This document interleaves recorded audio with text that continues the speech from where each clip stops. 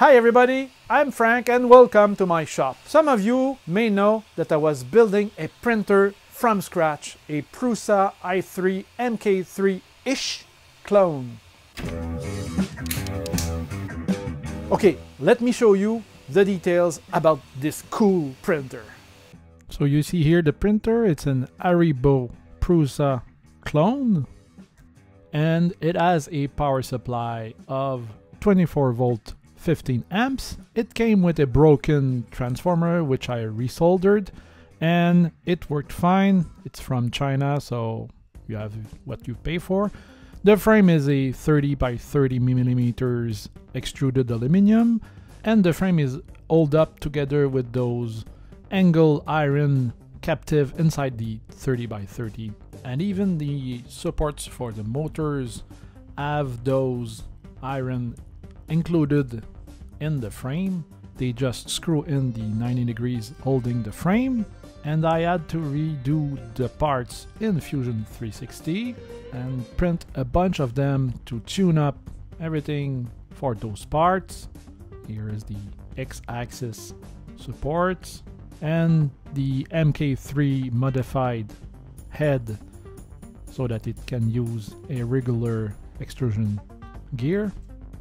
This is the y-axis motor and the board with TMC 2130 drivers like in the Prusa and those are all hooked up signals for controlling those drivers with Marlin. So you can have a end stop without switches. Like you see here it's gonna stop. There is no switch just sensing the current of the drivers and know that it's at its end. And just a print test here. And I do have a level bed an auto leveling bed. So here you see the BL Touch. I use a BL Touch because of the ultra base glass bed. It was too thick for an induction sensor. So the BL Touch was I think a good solution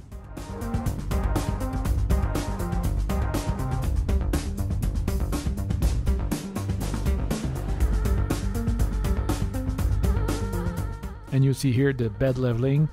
I did a 4x4 leveling so 16 points.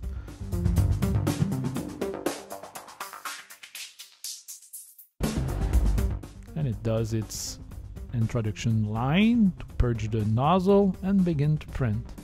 And let me tell you it's quiet with those TMC 2130 drivers.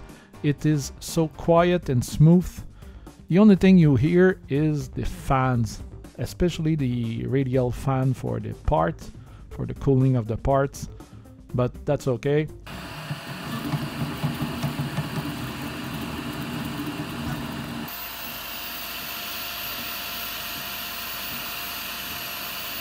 I'm really proud of this printer, it's smooth, it prints well, and I did learn a lot building this printer.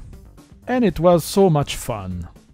And that's it for me guys. If you enjoyed this video, please give it a thumbs up, comments, and give me suggestions on subjects or problems you want me to talk about. Subscribe to my channel, push the little bell for notification of new videos, and see you in the next video. Ciao, bye!